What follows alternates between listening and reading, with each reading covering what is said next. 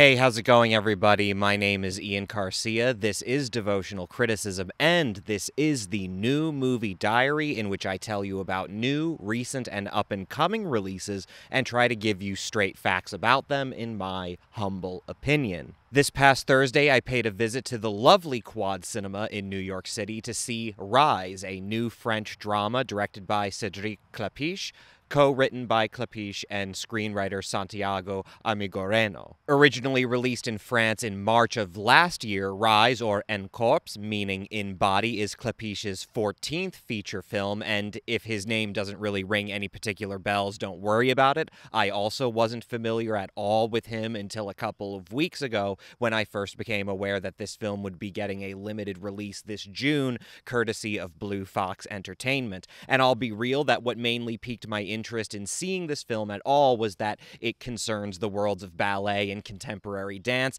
and I'm kind of a sucker for films about dance. I think oftentimes, even rather mediocre directors, when dealing with dance as a subject or a setting, I don't know what it is. Maybe it's just that part of the athleticism and the energy of one medium of expression really inflames the passions of another. And that was something I really tried to keep in mind without building up my expectations for what the movie was going to be too much, because in the week leading up to seeing Rise, and again, I'm still not some sort of expert in Klapisch's oeuvre, I'm very very much coming into this with a rather limited impression of him as a screenwriter and a director. But I must admit, in the week leading up to seeing Rise and trying to research Klapisch and see as many of his films as possible that are easily accessible in the US anyway, at least via streaming, I must admit that leading up to seeing Rise, I haven't been very fond of what films by Klapisch I have seen. Like, at all. Klapisch is a director who has been working in feature films since the early 90s, and I've only seen three of his other films besides Rise. So, again, take all of this with a grain of salt. These are thoughts maybe coming from the mind of someone who maybe sprinted through what I could see of Klapisch uh, rather too quickly, maybe didn't really have the opportunity to really sink my teeth into his superior works. But I did start off doing my homework by watching The Spanish Apartment, which was released all the way back in 2002. And in addition to being Klapisch's most financially successful and popular film, was also something of his international breakthrough. It was nominated for several César Awards, which is basically the national French equivalent of the Academy Awards. It was nominated for Best Writing, Best Director, and Best Film. And man, I saw The Spanish Apartment and I was just completely bored out of my mind by it. And I don't mean boring like some vulgarian, anti international, or slow burn drama film kind of thing where I'm just sitting here huffing, like, this is so boring. Nothing happens in this movie, and it goes on forever. I mean that just quite frankly, I was not just entirely unimpressed by it, but like viscerally aggravated to an extent that I really can't fathom why it got the accolades that it did and still maintains such a high reputation. As an introduction to Klapisch's filmmaking, it turns out that one of his most popular and well regarded movies was just the wrong way to go. I also saw Paris uh, from 2008, which was also nominated at the César Awards for Best Film, and I guess the best way to describe that that is as a hyperlink movie, which is sort of a catch all term to describe this style of cinema that really started coming into vogue in the new millennium with movies like Crash and Amores Perros and Gomorrah. So, you know, Paris is very much a part of that vogue where it's this ensemble multi-linear drama with a bunch of separate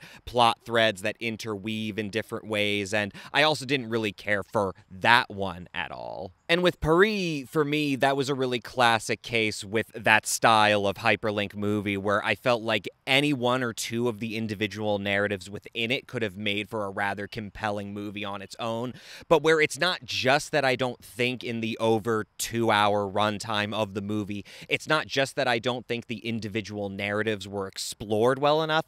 It's like a textbook case with that sort of hyperlink style of, of movie, and the most basic technical critique you can make of them is that it's actually that the compositing of all of these different narratives together kind of betrays not only the self indulgence of the filmmaker, but also their kind of shallow lack of ideas that throwing all of these stories into a pod and mixing them together doesn't really elevate them all through their shared themes, but just sort of emphasizes the superficiality of Klapisch's writing, the inattention to not just writing scenes that might be individually interesting or engaging, especially if you lean heavily on your cast to kind of bring them to life and justify their vitality, but also just the inattention to rendering this cross linear narrative as something that, on its whole, has compelling conflicts and resolutions that aren't just deus ex machina stuff. I mean, it was definitely a better film than The Spanish Apartment, but I'm still in the reactive fugue where I can quite confidently, if not necessarily critically, say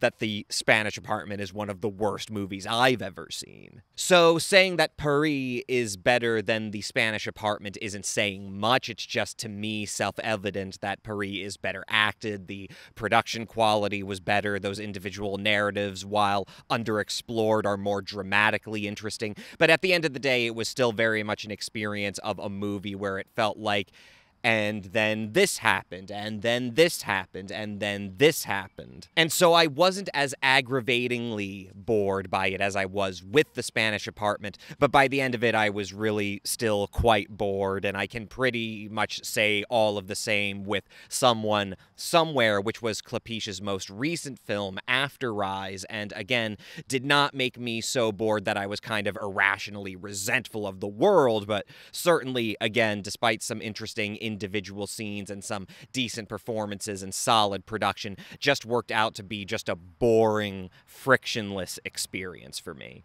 And that, again, coming from a very underinitiated experience, is exactly how I would characterize my assessment of what Klapisch movies I have seen there's a frictionlessness to them, an absence of any real hooks to get me to actually feel something for the characters he creates and the scenarios that he contrives, rather than at a certain point just kind of zoning out and waiting for all of it to just be over. So, over the course of the last week, I kind of went from being really rather enthusiastic about seeing Rise to being in the most mean spirited and probably wrong footed state of mind about it. Because even though I've only seen three of Klapisch's many films, I kind of feel like if you see three films by the same director and all made within a 20 year period, and two of them at least are actually rather highly regarded within his body of works, then I think it's okay if you come away from them with the definitive feeling that he's just kind of a popular hack. Sure, it's only three movies, but that's three movies scattered at the beginning, middle, and end of two decades of a run. And all three of those movies are two hours,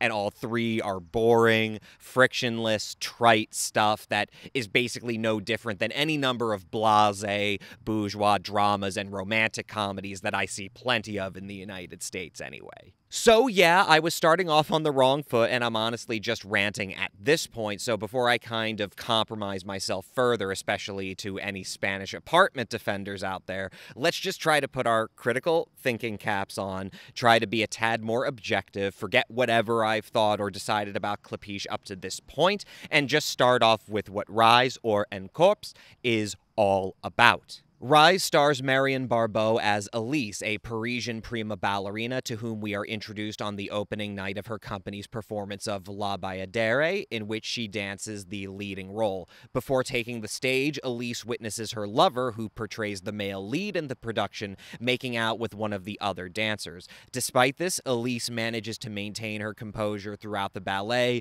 but during its crucial apotheosis, she sustains an injury to her ankle. It turns out that this same ankle has has been a weak point for Elise throughout her entire career, and that she has already continued to perform as dancers like athletes often do through several similar injuries. A doctor informs her that in order to recover, she will have to refrain from dancing for at least two years. There is also the possibility that she will require surgery. That in itself will severely limit her future flexibility. Even in the best case scenario, for a woman in her mid 20s, this single incident potentially signals the end of her professional career. Her physical therapist, Jan, played by Francois Civil, who it turns out was himself in a relationship with the very ballerina who Elise's lover was having an affair with, is more optimistic about her future prospects, and he encourages Elise to use this time to not only physically but also emotionally heal from her heartbreak. Her sisters also encourage her to not give up on her dreams, going so far as to invoke the spirit of their mother, who passed away when Elise was quite young and who was the chief support of her early ballet training. Their father, Henry Denis Podalydès, he, on the other hand, a lawyer who prefers literature to the performing arts and who always behaved rather coldly and indifferently to his daughter's pursuits, takes the position that these events were, in some sense, more than likely always inevitable. Either by injury or by age, Elise's ballet dreams could not last forever, and it's better that she start thinking of alternatives now rather than later. And the ironic thing is that while Elise is quite emotionally estranged from her father, she seems to adapt rather quickly to his sense of sober fatalism. She spends very little time mourning either her decommissioning from the dance world or the end of her relationship, and instead turns to the advice of her friend Sabrina, Souheila Yacoub. Sabrina herself is a retired ballet dancer who now works here and there as an actress and a model, but mostly assists her husband, Loic, Pio Marmai,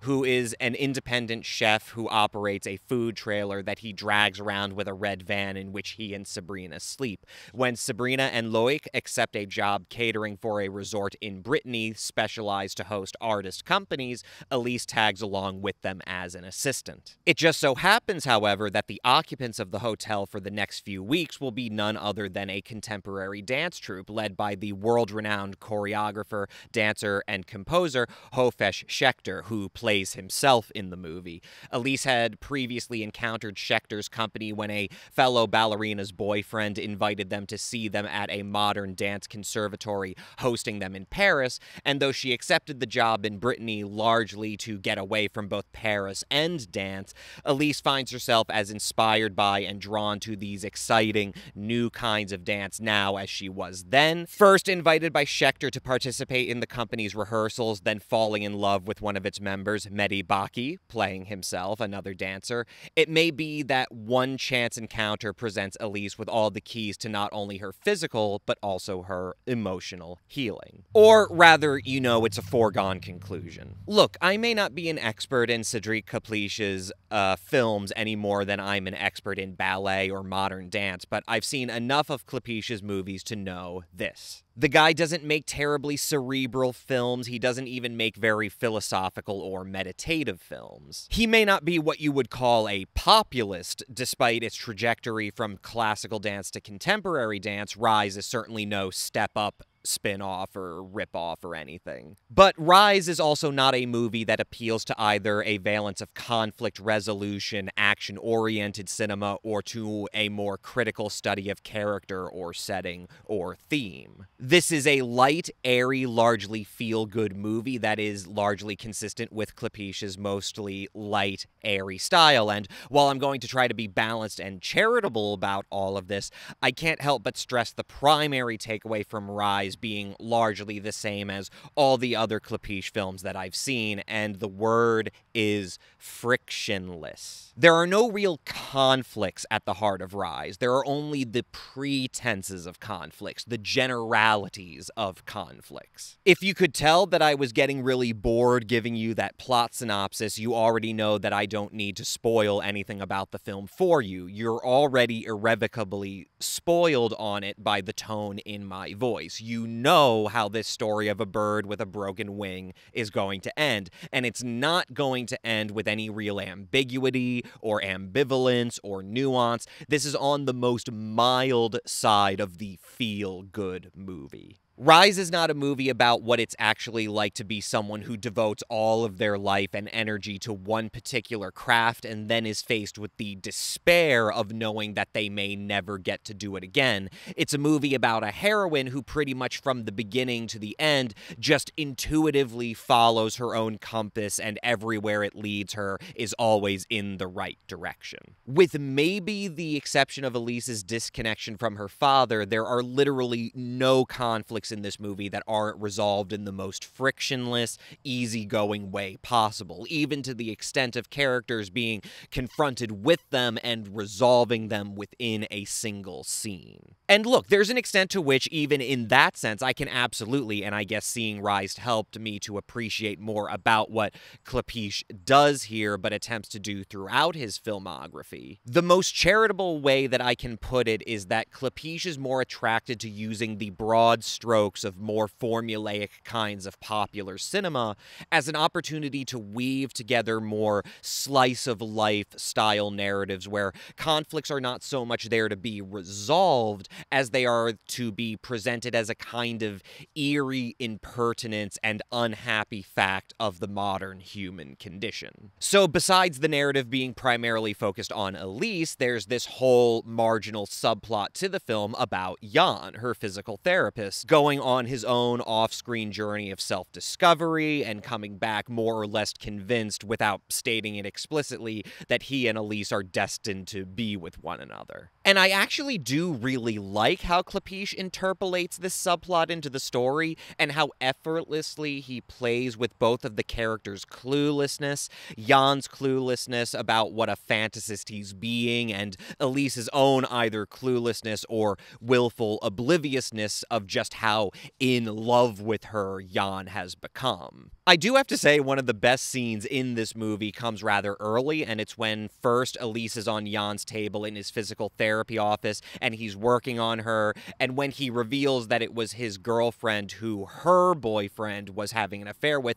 he starts breaking down and having an anxiety attack and crying, and then she gets off the table to console him, and then he lays down on the table, and so now she's supporting him. It's actually a pretty ingenious and not really laugh out loud funny, but a very subtly done scene that I actually really enjoyed. But the way Jan's own only partially seen arc as a character weaves in and out of Elise's primary story is fascinating in and of itself. And it's the sort of thing that even if you find the rest of the film rather unengaging, it sticks with you and it makes you think maybe I don't want to try to sit through two hours of that again, but maybe I appreciate a filmmaker doing something that intuitive, that experimental with the form of actually coloring just ever so much outside the lines of a more formulaic, feel good narrative. But at the end of the day, what you're getting from it all is a film that has all of the kind of flitty, stereotypically French impertinence of a more thematic foreign art film,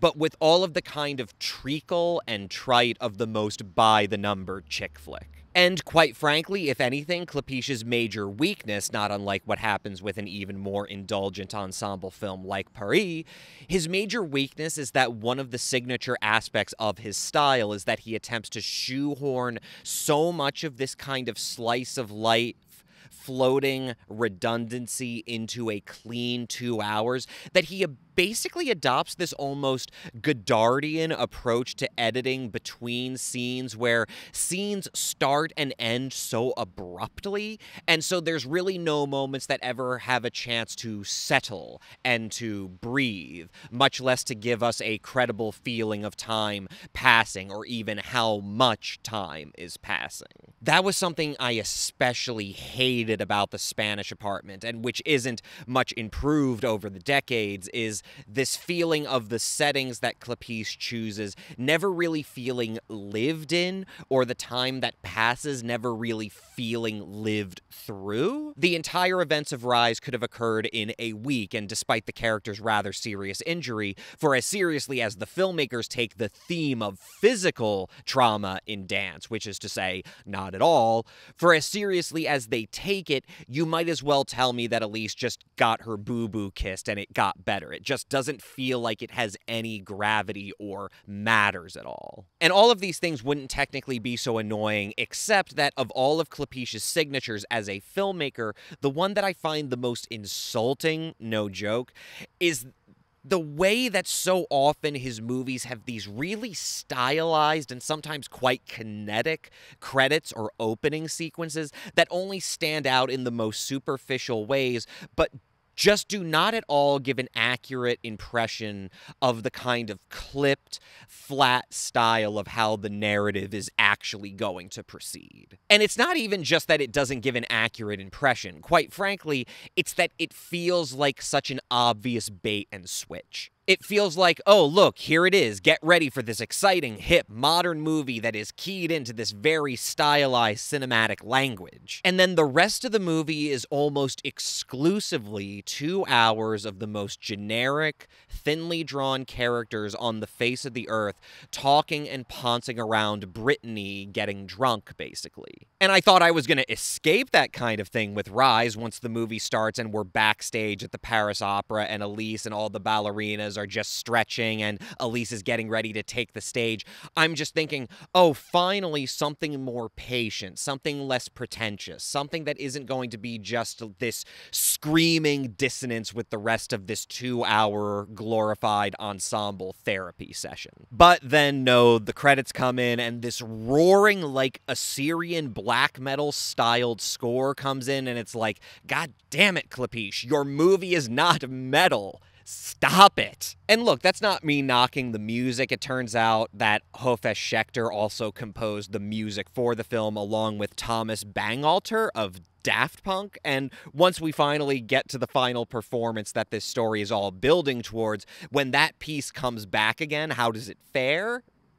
It's all right it's fine. It's got a cool atmosphere to it, but the thing is that the harsh juxtaposition between it and La Bayadere is not nearly as interesting as Klapisch seems to think it is. And at the end of the day, you might as well save it all for the ending because none of it is really true to the mood of Rise, which is neither really 19th century ballet or contemporary metal music, but just honestly the most mediocre background study beats that you can find. But I ought to just go ahead and cut to the point because this is a dance movie, Ian. What about the dancing? What about the dancing? And I will say that as a dance movie, as a movie where it really ought to live and die on its dance sequences, I gotta say, Klapisch impresses me by doing pretty good. I mean, it's not reinventing the wheel. Now, there are really only two main dance pieces in the movie, besides ones that seem to be improvised, and credit where credit is due. Klapisch didn't sheep out and superimpose a bunch of non actors' faces onto real dancers.